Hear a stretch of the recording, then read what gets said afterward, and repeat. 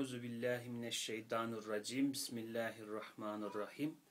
Allahümme salli ala seyyidina Muhammedin ve ala alihi ve sahbihi ecmain. Estaizu billah. Rabbi şirahli sadri ve yessirli emri. Vahlul ukdeten min lisani yefkahu gavli. Allahümme enfa'ni bima allemteni ve allimni ma yenfe'uni ve zidni ilmen. Elhamdu ala kulli halin ve auzu billahi min halin ehlin nar. Amin. Allahümme amin. Selamünaleyküm arkadaşlar. Sözler Risalesi okumalarımıza 9. sözden devam ediyoruz. 9. sözün de artık sonuna yaklaştık. Konuşacağımız sadece 5. nüktenin inşa vakti yani yatsı vakti kaldı. Onun hakkında tefekkür etmemiz kaldı. Fakat ondan önce yine her zaman yaptığımız gibi 9. sözün başına dönüyoruz. 9. sözün başında neyi konuştuğumuzu, yola nasıl çıktığımızı bir hatırlıyoruz. Ondan sonra 5. nükteye gidip dersimizi almaya başlıyoruz inşallah. 9. söz. Bismillahirrahmanirrahim. Fesubhanallahi hine tumsune ve hine tusbihun. Ve lehul hamdu fis semavati vel ardı ve aşiyen ve hine tuzhirun. Bu ayetler Rum suresinin 17. ve 18. ayetleriydi. Kısa bir meali şöyleydi. Haydi siz akşama erdiğinizde ve sabaha kavuştuğunuzda Allah'ı tesbih edin. Göklerde ve yerde hamd ve övgü ona mahsustur. İkindi vaktinde de ve öğle vaktine erişince de Allah'a tesbih edip namaz kılın. Rum suresinin 17. ve 18. ayetlerinin kısa bir meali böyleydi. Yalnız yastığın diğerini de alayım da yoksa bu kadar aşağıdan okuyamıyorum. Gözler bozuldu, yaşlandık galiba. Heh. Bu mesafe iyi. Evet, Rum suresinin 17. ve 18. ayetleri bunlar demiştik. Yolumuzun bidayeti, yıldızımız, e, pusulamız, girizgahımız, kanatlarımız bu ayetler. Başlangıcımız bunlar. Peki bu ayetler bize neyi anlatıyor ki böyle dokuzuncu söz gibi bir metin bu ayetlerle başlıyor? Onu da şöyle demiştik. Namazı anlatırken kullandığı öğeler dikkat çekici.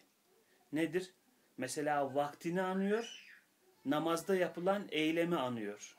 Eylem diyoruz ama işte tesbih, hamd, tazim, işte Subhanallah, Elhamdülillah, Allahu Ekber bunlarla yapılan işleri namazın öğesi olarak anıyor bir. Bir de namazın vaktini anıyor iki. Yani Cenab-ı Hak namazı Peygamberime aleyhissalatü vesselam bir haber indirdim. Namaz diye bir şey var. O nasıl derse yapın falan böyle değil. Kur'an'ında onun vaktine, içindeki fonksiyonlara, işlere, ibadetlere, o ibadet, ibadetlerin farklı vecihlerine dikkat çekerek emrediyor. Böyle yapması da bizi uyandırmalı ki, bizi uyarıyor ki, bizim dikkatimizi çekiyor ki namaz bunlarla ayrılmaz bir bütündür. E ben işte beş vakti kılmıyorum da akşam eve gidince kaza ediyorum. Olmaz. Neden? Çünkü namaz vaktiyle emredilmiştir. Farzlarından birisidir zaten vakti. Yani kazası namazın yerine geçmez. Bunu icmalen biliyoruz hepimiz. Ta küçüklüğümüzde Kur'an kurslarında, camilerde, ilmihallerden ders almışız. Namaz hocalarından ders almışız. Ama içinde nasıl bir hakikat var? Neden namaz vaktinden ayrılmaz? Vaktiyle beraber olmalıdır. Günde beş defa olmalıdır. Hatta mümkünse en güzeli, en kemaldeki ilk vaktinde kılınandır diye biliyoruz. Bu niye böyledir?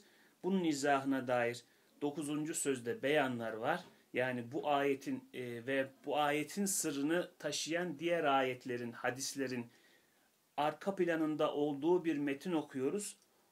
Onların bu şekilde olmasının hikmetini anlıyoruz. Kur'an'ın mesela burada sözü niye uzatarak söylediğini. Namazı emrettim kılın bitti falan böyle değil. İşte nasıldı? Hatırlayalım. Haydi siz akşama erdiğinizde ve sabaha kavuştuğunuzda Allah'a tesbih edin. Bak nasıl anlattı. Akşama erdiğinizde, sabaha kavuştuğunuzda tesbih edin. Göklerde ve yerde hamd ve övgü ona mahsustur. Araya bak bu girdi. İkindi vaktinde de öğle vaktine erişince de Allah'a tesbih edip namaz kılın ila ahir. Bunların hikmeti nedir? Yani okuduğumuz bir tefsir, bize namazın hikmetlerini anlatan bir tefsir ama sadece bunu yapmıyor bakınız. Kur'an'a nasıl bakılmalı? Buna dair de bize bir bakış açısı zenginliği aşılıyor. Belki bu sözü okuyana kadar her birimiz bu ayeti okuyup işte namaz emredilmiş ayeti de bu diyorduk. O, o niye o şekilde olmuş? Niye bu kelimeler seçilmiş? Neden bu öğeler vurgulanmış? Neden böyle anmış namazı? Pek bunun peşine düşmüyorduk. Ama dokuzuncu sözü okuduktan sonra kafamızda böyle ampuller parladı, yıldırımlar çaktı, yıldızlar yandı ve böylece artık ayetlerin de onlarla muhatap bulunurken her bir kelimesine neden böyle, her bir harfine hatta neden bu harfle, neden bu ekle, neden bu şekilde geldi diye sorularak okunması gerektiğini ve müfessirlerimiz de Allah hepsinden razı olsun. Ehl-i sünnet vel cemaatin istikametli müfessirlerinin de zaten asırlardır bunu eyleye geldiklerini öğrendik. Ve bu halkanın ahir zamandaki bir parçası olarak Risale-i Nur da bize bunu öğretti. Elhamdülillah. Şu iki paragrafı da okuyalım. Ondan sonra beşinci nükteye geçelim. Ey birader! Benden namazın şu muayyen beş vakte hikmeti tahsisini soruyorsun. Pek çok hikmetlerinden yalnız birisine işaret ederiz. Evet, her bir namazın vakti mühim bir inkılap başı olduğu gibi azim bir tasarrufu ilahinin aynesi yani aynası ve o tasarruf içinde ihsanat-ı külliye-i ilahiyenin birer makesi olduğundan Kadir Zülcelal'e o vakitlerde daha ziyade tesbih ve tazim ve hadsiz nimetlerinin iki vakit ortasında toplanmış yekununa karşı şükür ve hamd demek olan namaza emredilmiştir. Şu ince ve derin manayı bir parça fehmetmek için beş nükteyi nefsimle beraber dinlemek lazım diyor mürşidimiz. Biz elbette o nükteleri konuştuğumuz için tekrar onlara dönmüyoruz. Çok gerekmedikçe dönmüyoruz ama gerekirse dönmekten de kaçmıyoruz. Ve geldik beşinci nüktemize. Şimdi beşinci nüktede ilk paragrafı bir okuyayım yine. İlk paragraf çünkü aslı insanı hatırlatıyor. Sonra namazın anlamı da o aslı insanla buluşuyor. İnsan kendisinin ne olduğuna karar vermezse namazın da ne anlama geldiğine karar veremiyor. Beşinci nükteyi konuşurken bunu önce bir e, hedef tahtamıza koyduk. Bunu bir e, dürbün kıldık. Neden? Ahir zamanda dedik insanlığın en çok bozulma yaşadığı, deformasyon yaşadığı, çürüme yaşadığı, tefessüh ettiği alanlardan birisi de kendilik algısı. İnsan nedir? Bu sorunun cevabı ahir zamanda çok muallakta. Daha doğrusu e, çok taşları yerinden oynamış şekilde. Neden? Çünkü ahir zaman insanının kendi zamanından önce elde edilememiş şeylere ulaşma imkanı var. İşte cep telefonu diye bir alet var. Bütün dünya içinde gibi böyle her şeyle iletişim kurabiliyorsunuz. Her şeyden haberdar olabiliyorsunuz. Atıyorum uçak diye bir şey var. Bir saatte buradan şuradan şuraya oradan oraya gidebiliyorsunuz. Araba diye bir şey var. E, tren diye bir şey var. Sayamayacağım kadar çok böyle teknolojik ürün var. Onlar vasıtasıyla kendi güç algımızda yaşadığımız bir bozulma var. Şimdi geçmişteki insanların düşünün bu ahir zamandaki teknoloji çağı gelene kadar e bilmek anlamında ilk insanla o ahir zamandan önceki insan arasında bir fark var mıydı? Yani aşağı yukarı sanki aynı şeylerdi yaptıkları. Yani ilk insan nasıl e, kendi elbisesini sağlıyorsa, kendi söküğünü dikiyorsa, kendi hayvanını besliyorsa, ahir zamana kadar insanlar da onu yapıyordu. Ama ahir zamanda bu iş biraz değişti. İşte sanayi toplumu oldu, endüstriyel üretim oldu, devletler merkezileşti, görev paylaşımları, işte teknolojinin gelişimiyle insanın yapabildikleri arttı. Sahada görülen itibariyle arttı kainata tasarrufumuz arttı, dünyadan ötelere elimiz ayağımız uzanmaya başladı falan filan. Bunlar olunca şimdi ahir zaman insanı da kendi hakkında acabaya düştü. Ya biz ya biz bir şeyler oluyoruz galiba falan. Hani bak neler başarıyoruz ya. Büyük şeyler oluyor falan filan böyle. Bir algı bozulması yaşadı. Bunu tabii sadece teknolojiyle ilişkilendirmemek lazım. Felsefenin de bununla ilgisi var. Zaten Batı felsefesinin insana yüklediği farklı bir anlam var. Elbette İslam gibi insanı e, detay kılmıyor. Detay derken şunu kastediyorum. Yani insanın merkezinde şekillenmiyor her şey. Allah'ın merkezinde insanın oradaki fonksiyonu da Allah'ın onu yerleştirdiği yerin merkezi olmasında. Ama işte Galile'nin dünyanın e, işte eski kozmografyaya göre dünyanın merkezinde olmadığını ortaya çıkarmasıyla falan filan Batılılar bunu böyle anlatır. E, o şey algısı bozuldu. E, Hristiyanlığın da eski kozmografyaya dayanarak kurduğu dünya algısı bozuldu. Tamam onu bozdular ama daha kötü bir şey oldu. Tanrı'yı ortadan kaldırdıkları için bu sefer aydınlanmayla insan büsbütün serbest kaldı. Yani şunu söylüyorlar normalde işte bilim felsefecileri. İşte Galile dünyanın güneşin etrafında döndüğünü ortaya çıkarmasıyla dünya merkezli uzay algısını bozdu, kırdı, dağıttı. Tamam eyvallah. Bu diyor tabi Hristiyanlığı da etkiledi. Çünkü Hristiyanlık da alemi böyle anlatıyordu. Buna da eyvallah. Ama siz insanı merkezden çekmediniz ki. Siz insanı iyice merkeze ittiniz. Yani Allah'ın olduğu yere kadar ittiniz anlamda.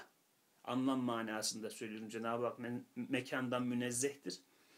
E, fakat kainatı anlamlandırırken insanoğlu Allah'ı merkeze koyuyordu. Müslümanlar da öyle yapıyordu. Hristiyanlar da kendi teolojilerince öyle yapıyorlardı.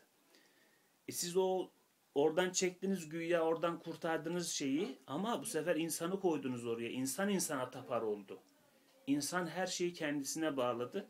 Tabi bu problemde silsile şeklinde e, hatta doğaya verdiğimiz zararlar, tabiata verdiğimiz zararlar, çevre kirliliği, küresel ısınma filan filan hepsi bunun e, background olarak bize döndü.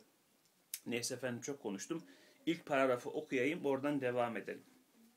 İnsan fıtraten gayet zayıftır. İnsan fıtraten gayet zayıftır. Şimdi bunu söyleyemiyorsunuz. Hele bir ergenlere falan bunu söyleyin böyle.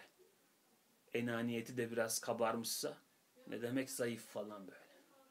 Zayıfsın kardeşim. Güç yetiremediğin şeyler varsa zayıfsın. Kabullenmelisin bunu. Bunu kabullenmek sana da rahat ettirecek. Kabul etmemek zaten o pozlara, rollere, e, kurgulara sebep oluyor, seni rahatsız ediyor, arızalandırıyor. İnsan fıtraten gayet zayıftır. Halbuki her şey ona ilişir. Onu müteessir ve müteellim eder. Hem gayet acizdir. Halbuki belaları ve düşmanları pek çoktur. Hem gayet fakirdir. Halbuki ihtiyacatı pek ziyadedir hem tembel ve iktidarsızdır. Halbuki hayatın tekalifi gayet ağırdır. Hem insaniyet onu kainatla alakadar etmiştir. Halbuki sevdiği, ünsiyet ettiği şeylerin zeval ve firakı mütemadiyen onu incitiyor.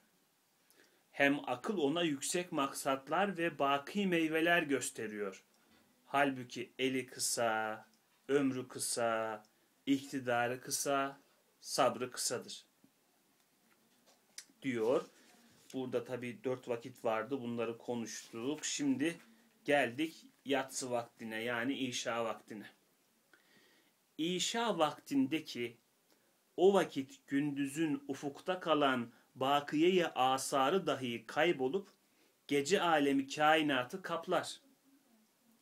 Mukallibül leyli ve nehar olan Kadir Zülcelal'in o beyaz sayfayı bu siyah sayfaya çevirmesindeki tasarrufat Rabbaniyesiyle yazın müzeyyen yeşil sayfasını kışın barit beyaz sayfasına çevirmesindeki musahhir, musahharus şemsi vel kamer olan Hakim-i Zülkemal'in icraat-ı ilahiyesini hatırlatır.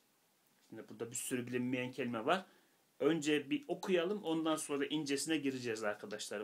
Şimdi ilk okumamızı yapıyoruz. Burada izah yok. ikincisinde izah var. Hem müruru zamanla ehli kuburun bakiyeyi asarı dahi şu dünyadan kesilmesiyle bütün bütün başka aleme geçmesindeki Halık-ı Mevt ve hayatın şunat-ı ilahiyesini andırır.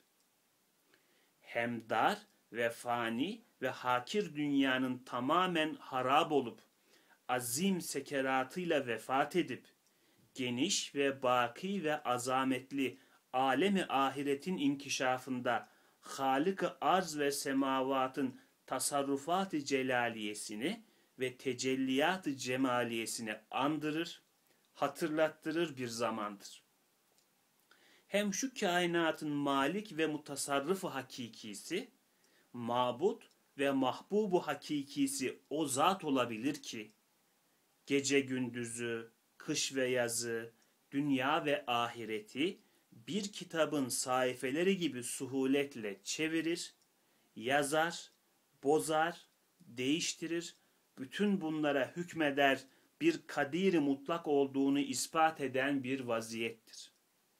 İşte nihayetsiz aciz, zayıf, hem nihayetsiz fakir, muhtaç, hem nihayetsiz bir istikbal zulümatına dalmakta, hem nihayetsiz hadisat içinde çalkalanmakta olan ruhu beşer, yatsı namazını kılmak için şu manadaki işada, İbrahim vari, La uhibbul afilin deyip, mabudu lem yezel ve mahbubu la yezalin dergahına namazla iltica edip ve şu fani alemde ve fani ömürde ve karanlık dünyada ve karanlık istikbalde bir baki sermedi ile münacat edip bir parçacık bir sohbeti bakiye birkaç dakikacık bir ömrü baki içinde dünyasına nur serpecek, istikbalini ışıklandıracak, mevcudatın ve ahbabının firak ve zevalinden neşet eden yaralarına merhem sürecek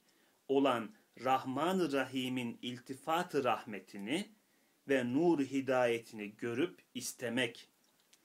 Hem muvakkaten onu unutan ve gizlenen dünyayı o dahi unutup, dertlerini kalbin ağlamasıyla dergah rahmete döküp, hem ne olur ne olmaz, ölüme benzeyen uykuya girmeden evvel son vazife-i ubudiyetini yapıp, yevmiye defteri amelini hüsnü hatime ile bağlamak için salata kıyam etmek. Yani bütün fani sevdiklerine bedel bir mabut ve mahbubu bakinin ve bütün dilencilik ettiği acizlere bedel bir kadiri kerimin ve bütün titrediği muzırların şerrinden kurtulmak için bir hafiz rahimin huzuruna çıkmak.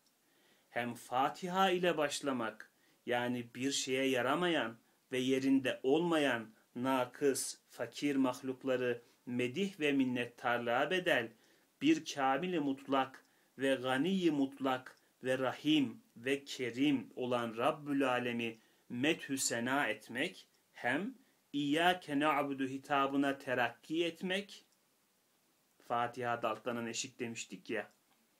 Yani küçüklüğü, hiçliği, kimsesizliği ile beraber ezel ve ebed sultanı olan Maliki Yevmiddin'e intisabıyla şu kainatta nazdar bir misafir ve ehemmiyetli bir vazifeder makamına girip İyyâke na'budu ve İyyâke nesta'in demekle bütün mahlukat namına kainatın cemaati kübrası ve cemiyeti uzmasındaki ibadat ve istianatı ona takdim etmek hem ihdinas sıradal müstakim demekle istikbal karanlığı içinde saadet-i ebediye giden nurani yolu olan sırat-ı müstakime hidayet istemek hem şimdi yatmış nebatat, hayvanat gibi gizlenmiş güneşler, huşyar yıldızlar, birer nefer misillu emrine musahhar ve bu misafirhaneyi alemde birer lambası ve hizmetkarı olan Zat-ı Zülcelal'in kibriyasını düşünüp Allahu Ekber deyip rüka varmak, hem bütün mahlukatın secde-i kübrasını düşünüp, yani şu gecede yatmış mahlukat gibi her senede, her asırdaki envai mevcudat, hatta arz, hatta dünya birer muntazam ordu, belki birer muti nefer gibi vazife-i ubudiyeti dünyeviyesinden emri kün feyekün ile terhis edildiği zaman, yani alemi gayba gönderildiği vakit, nihayet intizam ile zevalde grup seccadesinde Allahu Ekber deyip secde ettikleri hem emri kün feyekünden gelen bir sayhayı ihya ve ikaz ile yine baharda kısmen aynen, kısmen mislen haşrolup, kıyam edip, kemerbeste-i hizmeti Mevla oldukları gibi şu insancık onlara iktidaen o Rahman-ı Zülkemal'in, o Rahim-i Zülcemal'in bargah huzurunda hayret alut bir muhabbet, beka alut bir mahfiyet, izzet alut bir tezellül içinde Allahu Ekber deyip sücuda gitmek, yani bir nevi miraca çıkmak demek olan işa namazını kılmak ne kadar hoş, ne kadar güzel, ne kadar şirin, ne kadar yüksek, ne kadar aziz ve leziz, ne kadar makul ve münasip bir vazife, bir hizmet, bir ubudiyet, bir ciddi hakikat olduğunu elbette anladın. Demek şu beş vakit her biri birer inkılab-ı azimin işaratı ve icraat-ı cesime-i Rabbaniye'nin emaratı ve inamat-ı külliye-i ilahiyenin alamatı olduklarından borç ve zimmet olan farz namazın o zamanlara tahsisi nihayet hikmettir diyor ve ardından dua kısmı var ama ona bugün geçmeyeceğiz. Çünkü zaten burayı muhtemelen konuşarak bitiremeyeceğiz. Ee, bir iki gün daha konuşuruz diye tahmin ediyorum. Şimdi metnimizi bir baştan sona okuduk yani işa vaktini anlatan, yatsı vaktini anlatan, yatsı vaktiyle insanın e, kendi döngüsü, insanlığın topyekün döngüsü ve kainatın döngüsünü birbirine bağlayan, ilmekleyen, dikişleyen metni okuduk. Şimdi de parça parça, kısım kısım elimizden geldiğince tefekkür etmeye çalışalım. İşa vaktindeki yani yatsı vaktindeki o vakit gündüzün ufukta kalan bakiyeyi asarı dahi kaybolup gece alemi kainatı kaplar. Nedendiğini icmalen anlamışsınızdır. Gündüzden kalan eser olarak, iz olarak baki kalan, bakiye, kasa bakiyesi deriz ya, yani kasada kalan para. İşte bakiyeyi asar, iz olarak, eser olarak kalanlar.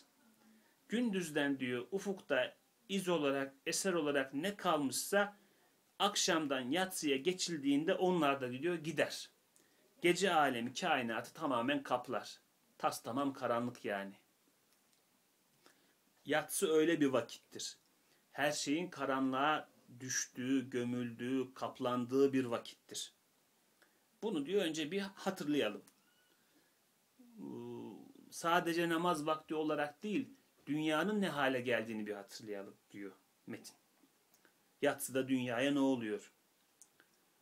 Mukallibul leyli ve nehar olan Kadir Zülcelal'in o beyaz sayfayı bu siyah sayfaya çevirmesindeki tasarruf, tasarrufat Rabbaniyesiyle yazın müzeyyen yeşil sayfasını kışın barit beyaz sayfasına çevirmesindeki musahhır şemsi vel kamer olan Hakim-i Zülkemal'in icraat ilahiyesini hatırlatır. İki parçalı bir cümle kurdu.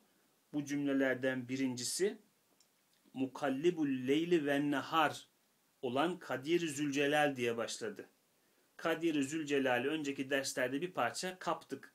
Yani Zülcelal, Zülcemal, Zül sahiplik şeyi ifade ediyor. Celal sahibi yani haşmet, azamet, onun sahipliğini ifade ediyor. Zülcelal. Hani mesela birisi sinirlendiğinde ne deriz? Celallenme ya bir sakin ol deriz. Ne demek yani? Yani korkutucu olmaya başladın, haşmet göstermeye başladın. Ee,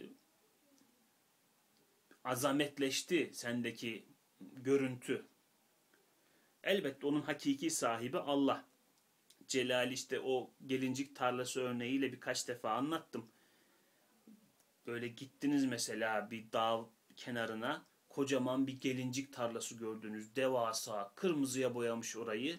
Orada hissettiğiniz o haşmet, o haşiyet işte o celal tecellisi. Ama tek tek gelinciklere baktığınızda onlardaki güzelliğe dair hissettiğiniz şey o cemal tecellisi. Yani tek gelincikte cemali, bütün gelincik tarlasında celali görüyorsunuz. Cenab-ı Hakk'ın e, cemalinin korkutucu bir seviyeye varması belki. Bizim kaldıramayacağımız bünyemizin artık ondan titrediği bir seviyeye gelmesi celali ifade ediyor. Yoksa birbirinden ayrı şeyler değil bunlar. Hatta depremle falan biraz açmaya çalıştık dedik ki biz depremin parça parça ne güzellikler sakladığını görmüyoruz ki. Bizim gördüğümüz, hissettiğimiz yerin sallanması, binalarımızın sallanması, işte yıkılması vesaire, ölümler. Şimdi bunları gördüğümüz için işin ahiret boyutunu, hatta dünyanın dengesinin devamında depremin fonksiyonunu falan bunları müşahede edemediğimiz için, o parça parça cemalleri göremediğimiz için sadece celali bize parlıyor. Nitekim kıyamet de öyle. Kıyamet aslında çok güzel bir hadise. E, ahiret başlıyor, sonsuzluk başlıyor. Kıyamet olmasa bu fanilik biter mi? Bitmiyor. Kıyamet o yüzden geliyor. Bu faniliği bakiliğe çevirmek için geliyor. Ama biz tabi müminlerin Cenab-ı Hak ruhunu evvelden kabz edecek. Müminler kıyametin dehşetini görmeyecekler. Kafirlerin başına kopacak kıyamet ama e, yani o dehşeti yaşamasak bu güzelliğe erişemeyiz o cemal şeyini görmek ancak ahiret boyutunu düşünmekle mümkün oluyor. Bir ölçüde. Bu yüzden Bediüzzaman Hazretleri Kadir-i Zülcelal, Kadir-i Zülcemal gibi terkipleri çok kullanır. Rahim-i Zülcemal. Daha doğrusu Kadir'le daha çok Celal'i kullanır. Rahim, Rahman gibi isimlerle de Cemal'i çok kullanır. Çünkü zaten Esma-ül Hüsna da Celali isimler ve Cemali isimler olmak üzere ikiye ayrılır. Mesela işte Kadir, celali bir isimdir. Rahim, cemali bir isimdir.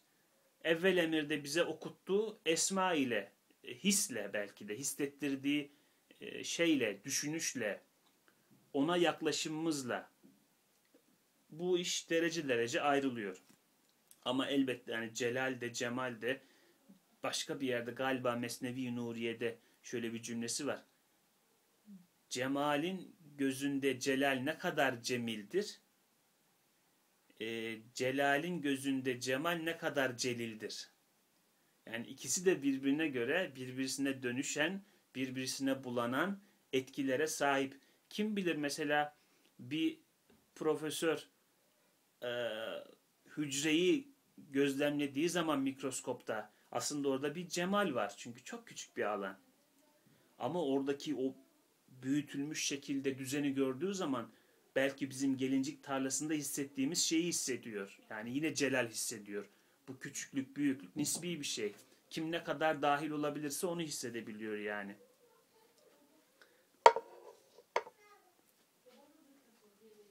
Evet. Ee, nerede kalmıştık? Evet. Mukallibül leyli ve nehar olan Kadir Zülcelal'in Ha şurayı da açıklayalım. Mukallibül leyli ve nehar nedir? Burada izahı yapılmış. Gece ve gündüzü birbiri ardına çeviren Allah demek. Mukallibül leyli ve nehar. Leyl, gece demek. Leyla da oradan geliyor biliyorsunuz. Nehar gündüz demek. Kalbediyor yani. Mukallibul leyli ve nehar. Ondan ona kalbediyor. Ama bu ifade sadece üstadın böyle kendisinin geliştirdiği bir terkip değil. Burada bakınız notunu almış söz basım Allah razı olsun. Nur suresinin 44. ayetinde geçiyor bu ifade. Mukallibul leyli ve nehar ifadesi Nur suresinin 44. ayetinde geçiyor.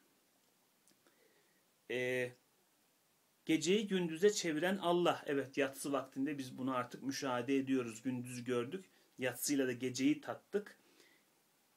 Geceyi gündüze çeviren Allah, gündüzü geceye çeviren Allah olan Kadir Zülcelal'in o beyaz sahifeyi bu siyah sahifeye çevirmesindeki tasarrufat Rabbaniyesiyle oradaki Rabbani tasarrufu, e, istimali, değişimi dönüştürmesi vesaire. Yazın müzeyyen yeşil sayfasını kışın barit beyaz sayfasına çevirmesindeki yazın müzeyyen, süslü yani tezin, tezin sanatı deriz ya süsleme sanatı demektir. Zinet eşyası deriz. Aynı kökten geliyor hepsi. Müzeyyen, tezin, zinet aynı kökten gelen şeyler. Zinet süs demek. Zinet eşyası süs eşyası işte altın falan mücevher bunlar için kullanılıyor daha çok. Müzeyyen de süslü demek. Müzeyyen yeşil sayfasını yazın müzeyyen yeşil sayfasını yani yaz süslüymüş. Mücevherler takmış böyle. Yeşil sayfasını kışın barit beyaz sayfasına yani soğuk barit soğuk demek. Kışın beyaz sayfasına çevirmesindeki Musahhar Şemsi vel Kamer olan Hakim-i Zülkemal'in icraat ilahiyesini hatırlatır. Bakın yine iki isim geldi. Musahhır Şemsi vel Kamer. Ne demek? Güneşe ve aya boyun eğdiren. Şems, güneş demek. Kamer, ay demek. Kameriye var mesela. Bizde şimdi kamelya diyorlar ama kamelya değil o. Kameriye. Yani ayı gözleyebilen yer manasında kullanılıyor. Ay ışığında oturulan yer manasında bahçelerde var ya böyle çardak gibi yerler. E, kameriye yani kamer ay demek. E, şems de güneş demek. Musahhar şemsi ve kamer yani ayı ve güneşi kendisine boyun eğdiren demek. Şimdi bu, bu ismi peki üstad mı buldu? Hayır. Bu terkip de Kur'an'da geçiyor. Bakınız onu da söz basım not almış. Bu da Rahat suresinin ikinci ayetinde geçiyor. Musahharu şemsi vel kamer ifadesi Rahat suresinin ikinci ayetinde geçen bir ifadeymiş. Güneşe ve aya boyun eğdirmesi. Musahharu şemsi vel kamer olan Hakim-i Zülkemal'in Hakim, her şeyi hikmetle yapan, sonsuz hikmet sahibi olan Allah, Zülkemal, Zülce, Zülcelal ne diye söylemiştik? Celal sahibi. E Zülkemal ne oluyor böylelikle? Kemal sahibi. Yani olgunluk, zirve. Kemal nasıl anlatılır bakalım. Zülkemal nasıl vermiştir? Hakim Zülkemal. Söz basımdan yardım alalım. Sonsuz mükemmellik sahibi, her şeyi hikmetle yapan Allah. Evet. Güzel bir tanım oldu. Sonsuz mükemmellik sahibi, her şeyi hikmetle yapan Allah. Hakim-i Zülkemal'in icraat-ı ilahiyesini hatırlatır. Bakınız burada bir ders daha aldık. Hani başta demiştik ayetler üzerine de dersler alıyoruz Bediüzzaman'ın e, dersleri içinde. Ayetlere nasıl bakmamız gerektiğini, e, nasıl dikkate sahip olmamız gerektiğini, nasıl detayları kullanmamız gerektiğine dair dersler de alıyoruz dedik. Burada da bir ders geldi. Mukallibul leyli ve nehardan çıktı Üstad Hazretleri. Musahharu şemsi vel kamere geldi. Ama bunlar bir de aynı ayetin parça şeyi farklı ayetlerin parçaları. Birisi Nur suresinin 44. ayeti, birisi Rahat suresinin 2. ayeti. Onu aldı, ona ilmekledi. E çok mu değişik bir şey bu? Hayır, zaten gece gündüzle kış yaz döngüsü bunlar o, astronomik anlamda yani kozmografya anlamında zaten birbiriyle ilgili şeyler dünyanın kendi etrafında dönmesi gece gündüz, güneşin etrafında dönmesi kış yaz. Yani Cenab-ı Hakk'ın boyun eğdiriciliğinin mertebeleri bizim müşahede ettiğimiz. Gece gündüzde bir seviyesini müşahede ediyoruz. Kış yazda bir üst mertebesini müşahede ediyoruz. Cenab-ı Hak her şeye boyun eğdiriyor. Dünyaya eğdirdiği gibi güneşe de eğdiriyor yani. Güneşin etrafında dünyamızı top gibi çeviriyor Cenab-ı Hak. E orada bak Kadir Zülcelal gözüktü e, gece gündüzde. Kış ve yazda Hakim Zülkemal gözüktü. Yani o olgunluk gözüktü. Hikmet gözüktü. Evet. Bunlar birbirini hatırlatıyorlarmış. Yatsı vaktine erişen, yatsı vaktini yaşayan, e, yatsı vaktinin tasarrufunu kainatta tefekkür eden, temaşa eden bu bağlamı hissetmeli. Nasıl ki gündüzü geceye çeviriyor Allah, öyle de kışı yazı kışa çeviriyor Allah. Onu ona çeviren de Allah, bunu buna çeviren de Allah. Bunlar birbiriyle ilgili şeyler. Bunun uyanışını yaşamalı diyor insan. Bediüzzaman Hazretleri burada o ikisi arasındaki ilgiyi kuruyor. Hem müruru zamanla ehli kuburun müruru zaman zamanın geçmesiyle ehli kuburun kabir ehlinin bakiyeyi asarı dahi şu dünyadan kesilmesiyle bütün bütün başka aleme geçmesindeki Halık-ı Mevt ve hayatın şuunat-ı ilahiyesini andırır. Bir üst seviyeye daha geçtik. Gündüz geceden yaz kışa geçmiştik. Burada da bir üst şeye geçtik. Dünya ahiret. Nasıl oluyor? Mürur zamanla ehli kuburun bakiye asarı dahi şu dünyadan kesilmesiyle bütün bütün başka aleme geçmesindeki Halık-ı Mevt ve hayatın şuunat-ı ilahiyesini andırır. Bakın yine isimler geldi. Halık-ı Mevt ve hayat. Hayatı ve ölümü yaratan. Peki bu üstadın şeyi mi? E, kendi bulduğu bir şey mi? Hayır. Bu da yine Kur'an'dan. Mülk suresinin ikinci ayetinden. Halık-ı Mevt ve hayat. Yani biz burada aslında ayetlerin içindeki terkipleri de ders alıyoruz. Gündelik hayatta cümle içinde bunları nasıl kullanırız onu öğreniyoruz. Hatırlarsınız hepimiz o tezgahtan geçtiğimiz için, o tonudan geçtiğimiz için bu örnekleri çok veriyorum. Milli eğitimde, ilkokulda, ortaokulda nasıl öğretilirdi kelimeler ya da işte sıfatlar, tamlamalar vesaire. Bir derste hoca onu açıklar. Sonra cümle içinde kullanılan örneklere geçersiniz. İşte bunu cümle içinde kullan. İşte Ayşe bana dört tane şundan aldı. Neydi o kelime? Şuydu işte. Atıyorum veya bir tamlama. Tamlamayı cümle içinde kullanıyorsunuz. Fatma bilmem şuna şu tamlamayla bilmem şu falan diye bir cümle kuruyorsunuz mesela örnek. Sıfat. O sıfatı nasıl kullanırız? Cümle içinde kullanıyorsunuz. Örnek verin sınavlarda çıkıyor. Bunu nasıl cümle içinde kullanırız? Kullanabildiğiniz zaman hoca anlıyor ki tamam bu bunu öğrendi. Anladın ne mantıkla bunun uygulandığını anladı diyor hoca cümle içinde kullanabiliyor. Örnek verebiliyor, izah edebiliyor yani. Fonksiyonunu anlamış bunu. Tıpkı bunun gibi de bizim Kur'an'ı anladığımız nasıl belli olacak? Esma-ül Hüsna'yı nasıl anladığımız nasıl belli olacak? İşte Halık-ı Mevt ve hayatın şunat-ı ilahiyesini andırır demiş. Cümle içinde kullanarak olacak, hayatın içinde kullanarak olacak onunla bakarak, onunla görerek, onunla tefekkür ederek olacak. Burada da Bediüzzaman Hazretleri bir sürü örneğini verdi. Hem mürur zamanla ehli kuburun bakiye asarı dahi şu dünyadan kesilmesiyle bütün bütün başka aleme geçmesindeki Halık-ı Mevt ve hayat. Halık-ı Mevt ölümü yaratan, Halık hayat hayatı yaratan. Mevt ölüm demek, hayat canlılık demek. Nereden geldik? Gündüzü geceye çevirenden çıktık yola. Oradan aya, güneşe boyun eğdirene geldik. Oradan nereye geldik? Hayatı ve ölümü yaratana geldik. Bakınız aslında bütün bu döngüler şununla ilgili. Hayatın ve ölümün yaratılması ile ilgili. Gece gündüz, kış yaz bunlar ne için var? Bunlar da hayat için var. Hayat ve ölüm için var.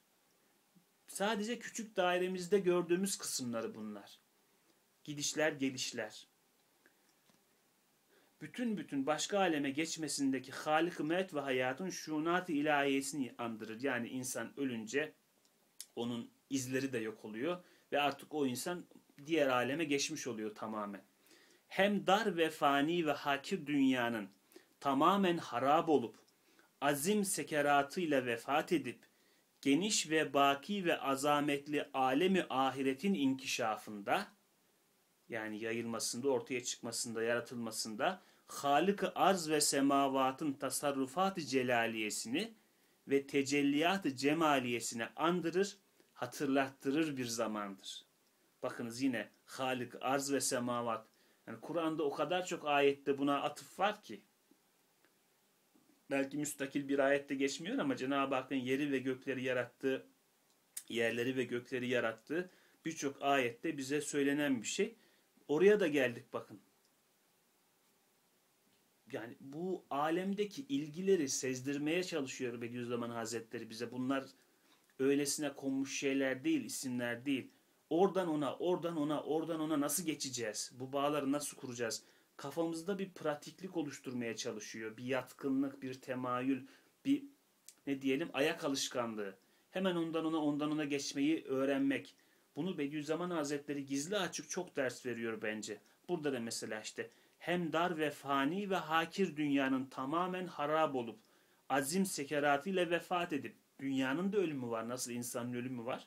Dünyanın da ölümü var.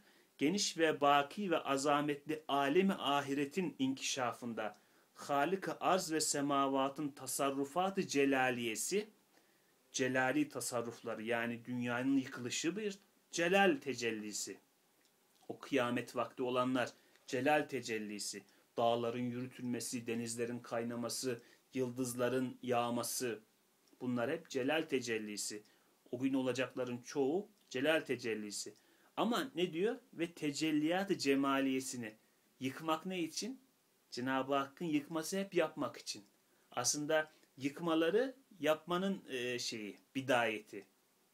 Yeni bir şey olurken o şey yıkılıyor. Nasıl tohum toprağa düşüyor, toprağın içinde çürüyor. Biz öyle görüyoruz onu. Kararıyor, büzüşüyor falan filan diyoruz. Ha çürüdü bu. Ama bağrından bir yeşil fidan çıkıyor. Yani demek ki o yıkma, yıkılması yıkılmak değil yapılmakmış. Veya işte ağaçtan elma kopuyor, toprağa dök, düşüyor. Toprakta pörsüyor falan filan diyorsunuz ki ya elmaya yazık oldu. Çürüdü toprakta. Ama o tohumlar nasıl karışacak başka türlü toprağa? E bakıyorsun yeni bir elma ağacı çıktı. Ziyan mı oldu? Hayır olmadı. Yani ölüm hayatın parçası aslında. Yeni bir hayatın başlangıcı ya da hayatın mertebeleri arasında geçiş. Biz o geçişi aslında ölüm diye görüyoruz. Normalde insan öldüğünde yok mu oluyor? Yok. Dünya hayatını bitiriyor. O mektubatın başında Bediüzzaman Hazretleri'nin verdiği suallere cevaplar var. Beş mertebeyi hayatta mesela. Bir tanesi de ölülerin hayatı. İnsan ölüyor, o ölümde başka bir hayata geçiş oluyor. Berzah hayatına geçiyorsun. Ya da şehit hayatı mesela şehit olursak Cenab-ı Hak bizlere nasip eylesin. Şehitlikte mesela öldüğünü bile bilmediğin başka bir hayat mertebesine geçiyorsun. İsa Aleyhisselam'ın hayat mertebesi, Hızır Aleyhisselam'ın hayat mertebesi. Bunlara geçiş oluyor. Bu geçiş arasında yaşadığımız süreç bize ölüm olarak gözüküyor. Yolculuğu biz ölüm olarak görüyoruz. Ama gözümüz o tarafa bakamadığı için burada bir bitiş gibi gözüküyor. Yani nasıl ki bir yolun sonunu görmesek, oradaki kapıyı görmesek adam aşağı düşüyor sanırız ama halbuki mesela altta diyelim bir platform varmış. Dublör oraya düşüyormuş. Başka bir yere geçmiş oldu. Ama biz onu görmüyoruz. Adam düştü sanıyoruz gibi. Demek ki yatsı vaktinde bu da var. Dünyanın ölümünü de hatırlatıyor. Nasıl dünyanın üstündeki ışık kapandı, bir gün bütün bütün varlığı da kapanacak. Bunu çağrıştırıyor. Ve oradaki celali ve cemali anımsatıyor. Hem şu kainatın malik ve mutasarrıfı hakikisi. Evet vaktimiz var. Mabut ve mahbubu hakikisi o zat olabilir ki gece gündüzü, kış ve yazı, dünya ve ahireti bir kitabın sayfeleri gibi suhuletle çevirir, yazar, bozar, değiştirir. Bütün bunlara hükmeder bir kadir mutlak olduğunu ispat eden bir vaziyettir. Bir daha okuyorum. Hem şu kainatın maliki ve mutasarrıfı hakikisi. Ne demek? Malik, malikane diyoruz. Başka kullandığımız yer hatırlamaya çalışayım. Melik diyoruz. Mülk diyoruz e, daha versiyon aklıma gelmedi ama çağrışım yapmıştır. Melik, hükümdar demek. Melik Şah mesela bugünler dizisi de var ya Selçuklular dizisi. Hatırlayalım oradan. Melik Şah. Melik hükümdar demek, yönetici demek. Mülk yönetilen demek mesela. E malik sahip demek. Memlük mesela köle demek. Mısır'da bir zamanlar Memlükler diye bir devlet varmış. Neden? Onların ismi Memlük. Çünkü oraya giden Çerkes köleler, kölemenler deniyor onlara.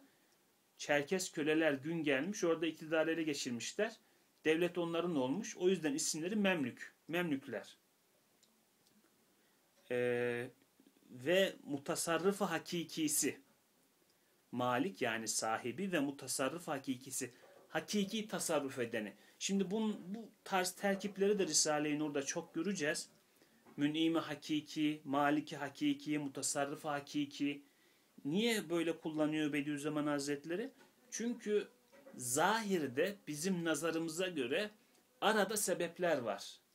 Esbab dairesinde yaşıyoruz. İmtihan bunun üzerine devam ediyor. Cenab-ı Hak bir şeyleri bir şeyleri perde ederek yaratıyor. Elmayı ağacı perde ederek yaratıyor. Ağacı toprağı perde ederek yaratıyor. Güneşi perde ederek yaratıyor. Yani bunlar aslında perde. Ee, yaratan bunlar değil yani. Toprak değil elmayı yaratan, ağacı yaratan. Toprak kendisi cansız, canlıyı nasıl yaratabilir? Kendisinde olmayan bir şeyi nasıl verebilir? Su canlı mı? Bizzat su olarak canlı değil. Güneş canlı mı? Bizzat kendisi olarak canlı değil. Ama güneşten, sudan, topraktan Allah canlı diye bir şey yaratıyor. Bunun da bize Cenab-ı Hakk'ın işaret ettiği şu. Bakın bunlar yaratıyormuş gibi gözüküyor. Bunlardan oluyormuş gibi gözüküyor ama bir şey kırın ya şu ülfetinizi bir kırın bakalım. Bunların öyle bir malı var mı?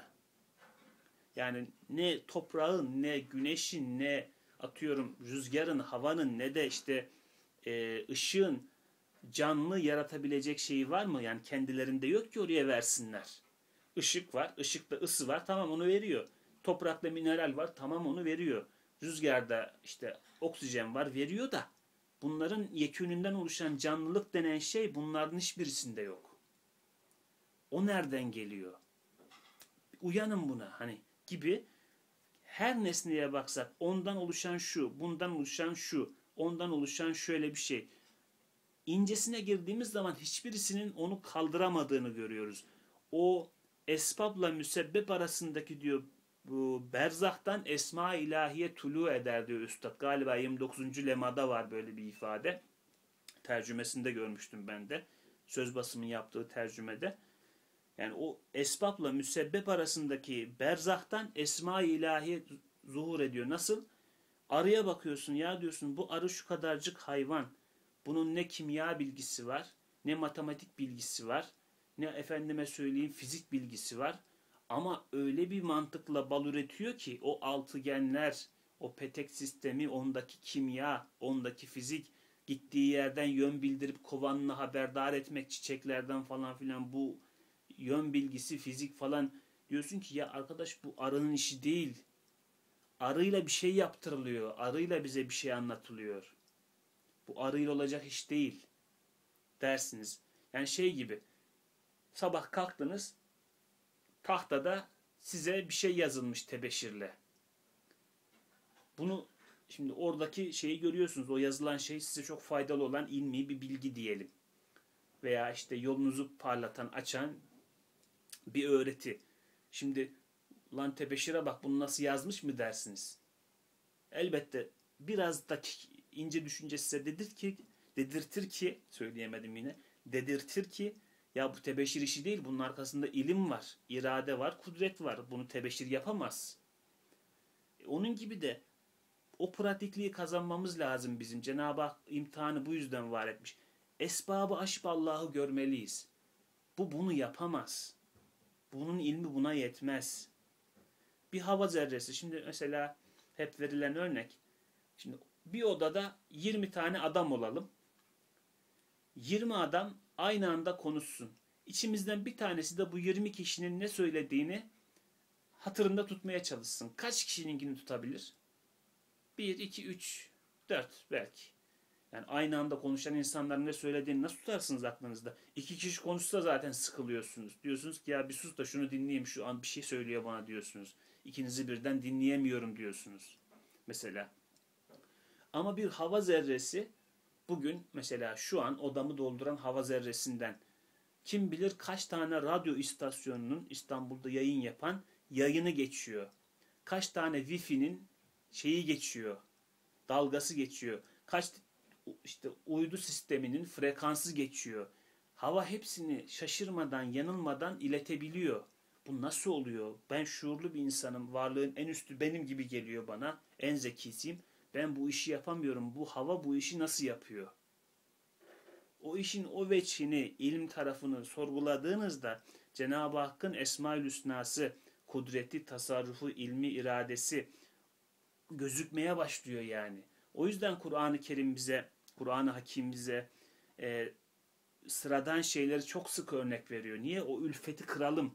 O sıradan olanların sıradan olmadığını bilelim. Deveye bakmazlar mı diyor mesela. Neden diyor bunu Cenab-ı Hak? Yani bak görmediğin şeyler var senin orada. İncir, zeytin mesela üstüne yemin ediyor. Niye Cenab-ı Hak incirin, zeytin üstüne yemin ediyor? Yani bak o incire, bak o zeytine onlarda mühim sırlar var. Sen orada tam yeterli şeye kavuşmuş değilsin yani bakış açısı zenginliğine gibi gibi. Yani Kur'an'ın bir hedefi de bizdeki o ülfeti kırmaktır. Bediüzzaman Hazretleri Şahat-ül Hicaz'da bunu izah ediyor. Evet, malik ve mutasarrıf hakikisi şu kainatın mabut ve mahbubu hakikisi. Mabut yani ibadet edilecek olan. Mahbub sevgili yani hakiki mabudu ve hakiki mahbubu. Cenab-ı Hak asıl sevilecek olandır. Sevilen her şey aslında Cenab-ı Hakk'ın onun üzerinden bize ikram ettiği bir şeyden dolayı sevilir. Yoksa bizzat kendisi onu ikram etmez. Gül çok güzel ama gülün bizden haberi var mı yani mesela insanın gözünü biliyor mu? İnsanın burnu hangi kokuyu seviyor biliyor mu? Hangi rengi seviyor biliyor mu? Hangi şekli seviyor biliyor mu? Nasıl açarsam mutlu olur falan biliyor mu? Gül bunlardan mahrum. Onun üzerinden bize bir şey ikram ediliyor. Biz aslında ikramı üzerinden o şeyi seviyoruz. Ama işte aşamazsak sebep perdesini asıl sevilmesi gerekenin ikramı yapanın Allah olduğunu göremiyoruz. Bu şey gibi her sabah kapımızda bir tepsi içinde çok güzel yemekler bırakılsa da biz tepsiye aşık olsak lan ne güzel tepsi her gün böyle güzel yemekler getiriyor diye ne kadar aptalca ahmakça bir şey olur. İşte insanın da hali bu. Esbaba çok şey yapıyoruz. O yapmış gibi. Halbuki onun üzerinden bize yapılıyor bu ikram. Mahbubu hakiki o yüzden Allah'tır. Çünkü sevilen her şeyin sevilme sebebi zaten onun bir ikramıdır, keremidir, inayetidir. Şu kainatın malik ve mutasarrıf hakikisi, mabut ve mahbubu hakikisi o zat olabilir ki gece gündüzü, kış ve yazı, bak hepsini birbirine kavuşturdu baştan konuştuklarımızın hepsini. Gece gündüzü, kış ve yazı, dünya ve ahireti bir kitabın sayfeleri gibi suhuletle çevirir, yazar, bozar, değiştirir. Bütün bunlara hükmeder bir kadiri mutlak olduğunu ispat eden bir vaziyettir. Yatsı bize ne gösteriyormuş? Bak silsile halinde. Bunların Cenab-ı Hakk'ın kudretinin tasarrufları olduğunu, birini getirip ötekini kaldırdığını, aralarındaki o bütünleyicilik sayesinde bize gösteriyormuş. Gecenin tanrısı haşa başkası da gündüzün tanrısı başkası değil. Gece gündüzsüz yarım kalır. Gündüz de gecesiz yarım kalır. Kış yazsız yarım kalır, yaz kışsız yarım kalır.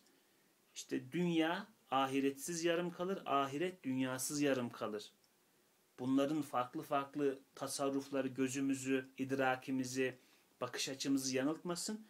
Aralarındaki bütünlük bize gösteriyor ki onları bir kitabın sayfeleri gibi suhuletle çevirir, yazar, bozar, değiştirir. Bütün bunlara hükmeder bir kadiri mutlak olduğunu ispat eden bir vaziyettir diyor. Ve buradan e, mevzu devam ediyor. Daha gidelim mi?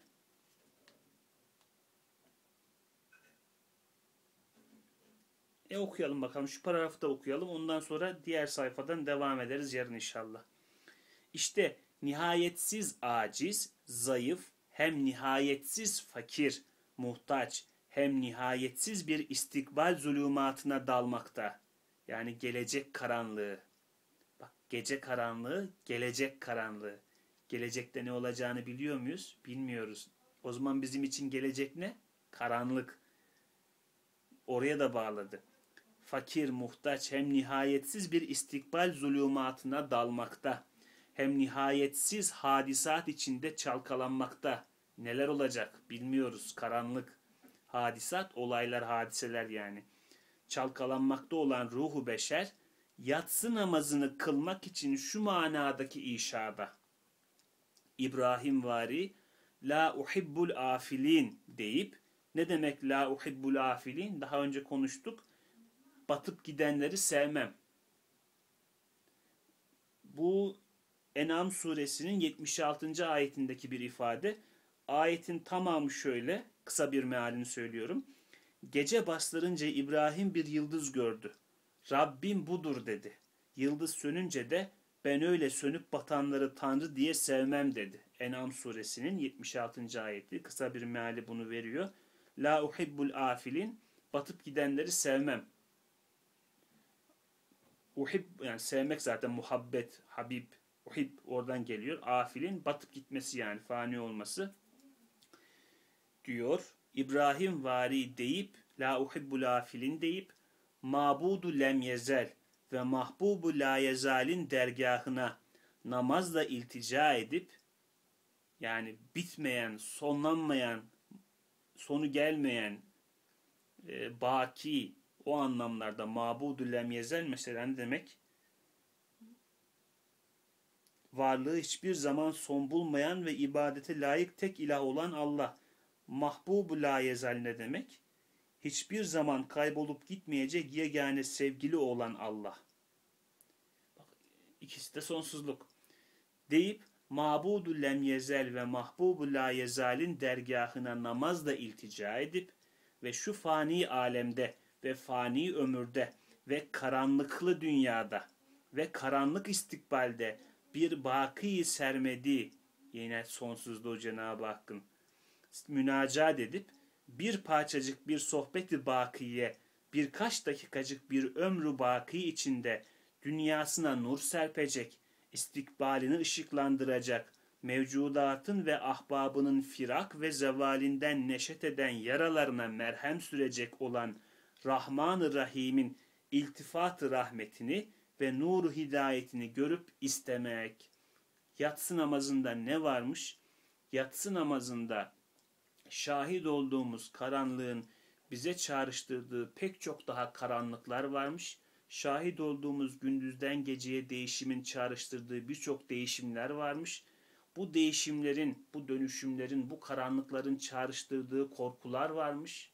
Çünkü değişim korkutur yani insanı. Yarın ne olacağını bilmiyoruz. Veya diyecekler ki mesela şirketin patronu değişiyor. Lan nasıl bir adam acaba falan dersin. Lan işimiz bozulacak mı ne güzel gidiyordu falan filan. Veya işte ne de diyecekler. Diyecekler ki atıyorum kiracısınız ev sahibiniz değişiyor lan. Eski ev sahibi iyiydi acaba şimdi bu yenisiyle nasıl geçineceğim falan. O değişimler hep böyle bir endişe oluşturur. Çünkü bilinmez. Yatsı da kainatı bilinmez kılıyor. Karanlığa çeviriyor. Demek ki Cenab-ı Hak insana gün içinde bir kere bu bilinmezliği yaşatıyor. Görünmezliği yaşatıyor. Karanlıkla örtüyor. Ne için? Kendi dünyasında daha başka çok bilinmezlik var. Çağrışım yapsın diye. Ha, öyle bir vakitte o şu fani halemde, fani ömürde, karanlıklı dünyada ve karanlık istikbalde bir baki sermediğiyle münacat edip yani namaz sırasında ona dua etmek, yalvarmak ya Rabbi geceyi gündüze çeviren sensin, yazı kışa çeviren sensin, kışı yaza çeviren sensin. Yani bu değişimlerin sahibi sensin. Yine başkası yaratmayacak bunu. Yine sen yaratacaksın. Başkasının elinde değil ki bu. Tevhid sahibi sensin deyip o şuuru hissetmek, o maneviyat hissetmek, o rahatlığı hissetmek, o bir parçacık sohbeti bakiye, birkaç dakikacık bir ömrü baki içinde Allah'la muhatap olmak o saniyeleri bakileştirdi. Hiç unutulmayacağın hafızasında kalmak diyordum ya ben bir keresinde. Ta, la teşbih ve la temsil. Allah hiç unutmayacağı için onu unutmaktan haşa münezzehtir. onun rızasını kazanmış dakikalar baki dakikalardır. Çünkü o öyle hatırlayacak. Hatırlamak diyoruz ama yanlış aslında. İlminde öyle yazacak diyelim. İlminde öyle kayıtlı olacak. Ömrü baki içinde dünyasına nur serpecek, istikbalini ışıklandıracak, mevcudatın ve ahbabının firak, ayrılık ve zevalinden, yok oluşundan neşet eden yaralarına merhem sürecek olan Rahman Rahim'in iltifat rahmetini ve nuru hidayetini görüp istemek diyor ve devam ediyor metin. Biz devam etmeyeceğiz. O kısmı belki bu paragrafı da alarak yarın konuşacağız. Ya yarın ya da ertesi günde bu metni bitirmiş oluruz diye umuyorum Cenab-ı Hakk'ın inayetiyle. İnşallah yani. E, gördüğünüz gibi arkadaşlar buraya kadar hep konuştuk ama tekrar hatırlatmak istiyorum. Bu namaz vakitleri dediğimiz hadise bir tek bizimle ilgili bir şey değil. Biz kainatın içinde bize düşen rolü oynuyoruz. Cenab-ı Hak evrenin döngüsü içinde alt katmanlarda birçok döngü yaratmış.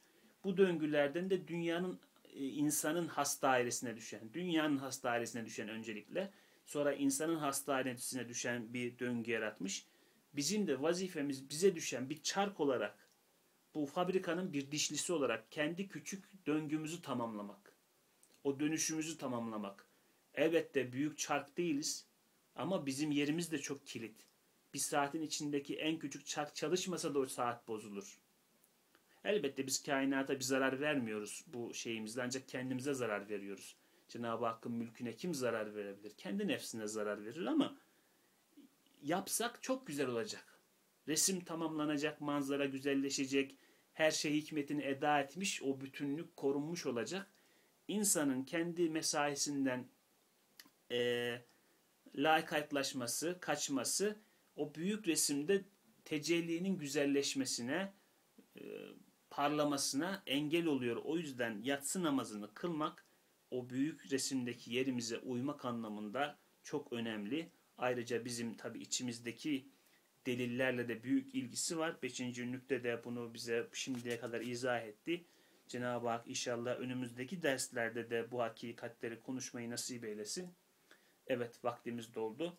İnşallah bir dahaki ders yine 5. nükteden devam etmek üzere Allah'a emanet olunuz. Subhaneke la ilme lena illa ma allamtena inneke entel alimul hakim ve ahru da'vahum elhamdülillahi rabbil alemin. El Fatiha.